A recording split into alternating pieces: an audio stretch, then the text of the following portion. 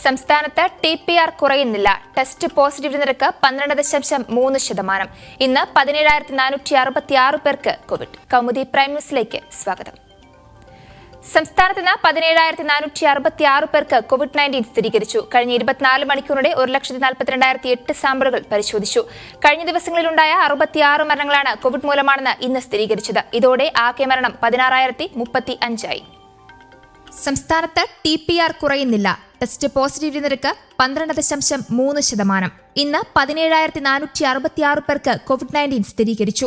മലപ്പുറം രണ്ടായിരത്തി അറുന്നൂറ്റി എൺപത്തിനാല് കോഴിക്കോട് രണ്ടായിരത്തി മുന്നൂറ്റി എഴുപത്തി ഒൻപത് തൃശൂർ രണ്ടായിരത്തി ഒരുന്നൂറ്റി തൊണ്ണൂറ് എറണാകുളം ആയിരത്തി അറുന്നൂറ്റി എൺപത്തിയേഴ് പാലക്കാട് ആയിരത്തി അഞ്ഞൂറ്റി അൻപത്തിരണ്ട് കൊല്ലം ആയിരത്തി ഇരുന്നൂറ്റി അറുപത്തിമൂന്ന് തിരുവനന്തപുരം ആയിരത്തി ഇരുന്നൂറ്റി ഇരുപത്തിരണ്ട് ആലപ്പുഴ തൊള്ളായിരത്തി പതിനാല് കണ്ണൂർ എണ്ണൂറ്റി എൺപത്തിനാല് കോട്ടയം എണ്ണൂറ്റി മുപ്പത്തിമൂന്ന് കാസർഗോഡ് അറുന്നൂറ്റി നാൽപ്പത്തിനാല് പത്തനംതിട്ട നാനൂറ്റി എഴുപത്തിയെട്ട് വയനാട് മുന്നൂറ്റി എൺപത്തിമൂന്ന് ഇടുക്കി മുന്നൂറ്റി അൻപത്തിമൂന്ന് എന്നിങ്ങനെയാണ് ജില്ലകളിൽ ഇന്ന് രോഗബാധ സ്ഥിരീകരിച്ചത്.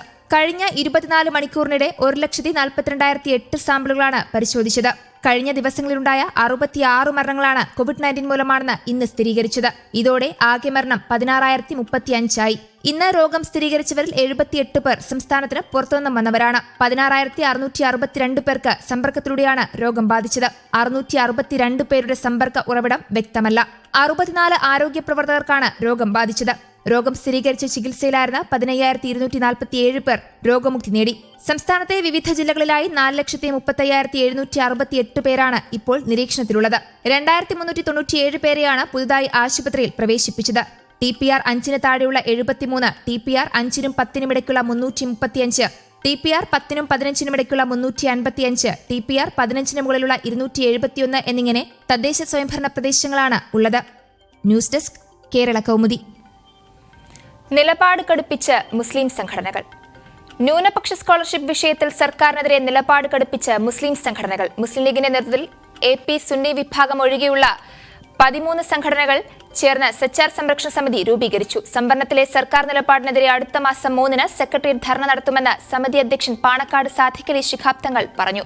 സ്കോളർഷിപ്പ് പ്രശ്നത്തിൽ സർക്കാർ നിലപാടിനെതിരെ തുറന്ന പോരിലേക്കാണ് മുസ്ലിം സംഘടനകൾ കടക്കുന്നത്. മുസ്ലിം Samastha M E S Jamaat-e Islami തുടങ്ങി പതിമൂന്ന് സംഘടനകളാണ് കോഴിക്കോട്ട് യോഗം ചേർന്നത്. കാന്തപുരം വിഭാഗത്തെ ക്ഷണിച്ചിരുന്നുവെങ്കിലും അവർ വിട്ടുനിന്നു. മുസ്ലിങ്ങൾക്കായി രൂപീകരിച്ച സമിതിയുടെ റിപ്പോർട്ടിൽ സർക്കാർ വെള്ളം ചേർത്തു. സ്കോളർഷിപ്പിന് മാത്രമായുള്ള പ്രശ്നമല്ല സർക്കാരിന് ഒരു ഉത്തരവിലൂടെ പരിഹാരം കണ്ടെത്താം. പ്രശ്നപരിഹാരം ഉണ്ടായില്ല എങ്കിൽ നിയമപരമായി നീങ്ങുമെന്നും മുസ്ലിം സംഘടനകൾ അറിയിച്ചു. സമസ്തയുടെ നേതൃത്വത്തിൽ ബുധനാഴ്ച യോഗം ചേർന്ന് സർക്കാരിന് അവകാശ പത്രിക സമർപ്പിക്കും. ഇന്റർനാഷണൽ ലീഗ് പിളർന്നു. രാവിലെ കൊച്ചിയിലുണ്ടായ തമ്മിലടിക്ക് പിന്നാലെ ഇന്റർനാഷണൽ ലീഗ് പിളർന്നു. പരസ്പരം പുറത്താക്കി വഹാബ് കാസിം വിഭാഗങ്ങൾ.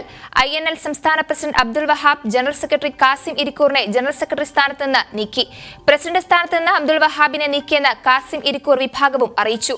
നിലവിലെ വർക്കിംഗ് പ്രസിഡന്റ് ഹംസ ഹാജിക്ക് താൽക്കാലിക ചുമതല നൽകി.